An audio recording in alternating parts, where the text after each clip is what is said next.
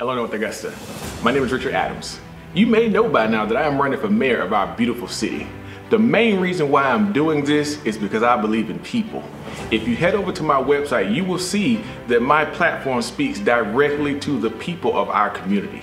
So in your spare time, please visit richardadamsformayor.com and check out those initiatives. I would love to have your support on Tuesday, April the 27th, 2021. The time is now.